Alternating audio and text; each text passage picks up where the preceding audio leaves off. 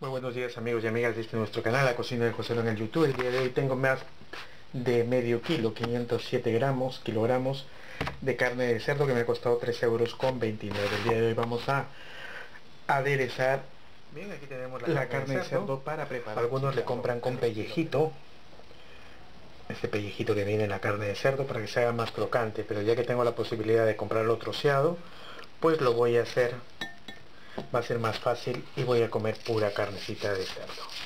Aquí le estoy añadiendo un poco de sal y un poco de pimienta para que esté aderezado. Ese será el primer paso bien entreverado bien mezclado. Y ahora sí nos vamos a la cacerola u olla donde vamos a hacer que tiene que tener tapa cacerola u olla pequeñita pero alta. Añado la carne. La carne de por sí tiene su propia grasa así que soltará su propio jugo yo le voy a añadir un poco de aceite de girasol por encima y por un promedio de una hora. A veces es menos ¿ah? según según la carne pero por un promedio de una hora estará aquí voy a rociar a la parte de que el del agua medio, a medio cerrar. Pues vamos a añadir un poco de agua que se irá mezclando con la grasa con la grasa de esta carne de cerdo. Así, un promedio de una hora. Algunos le echan a, sazonador, cubitos, para que tenga sabor. Algunos le echan apio, laurel. Ya la carne de cerdo tiene su propio sabor. De momento yo lo voy a dejar así, que se vaya consumiendo, la carne irá soltando su grasa, se mezclará con el agua, con ese chorrito de aceite, pero así, lo tendré a fuego fuerte. Estamos enseñando, una hora, compartiendo cómo aderezar y cómo preparar chicharrón al estilo peruano. Pues vean cómo va soltando la grasa el agua, en la carne. Ese caldito si queremos lo vamos a ir retirando porque se irá dorando solo. Lo podemos acompañar con papas sancochadas, papas sancochadas y, doradas, con una salsa criolla, cebolla y ají amarillo. Lo podemos acompañar de choclo, de maíz, de mote, de lo que Yo estoy dejando la tapa así, para que el vapor se vaya saliendo.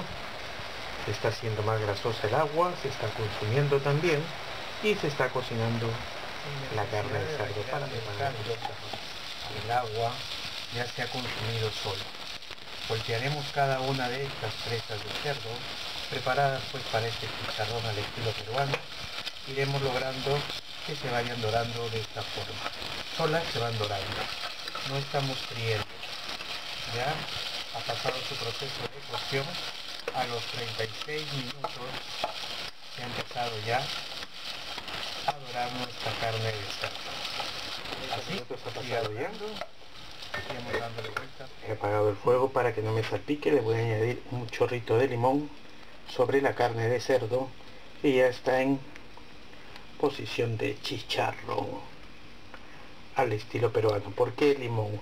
El limón lo hace más crujiente. No he tirado nada del agua, solamente quiero que vean que la carne está doradita. Con la ollita tapada yo tengo ya mi salsa criolla esperando y mi freidora donde doraré mis patatitas. Ven qué fácil se hacen los chicharrones.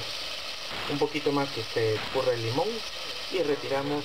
Solo para esto ya está está desengrasando mientras se van dorando las patatas. Bien amigos y amigas de este nuestro canal en YouTube ya tenemos los chicharrones aderezados de la forma como yo les he mostrado.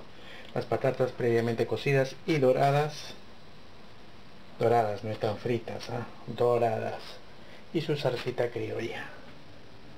Con su ojicito amarillo. Bien, hasta pronto.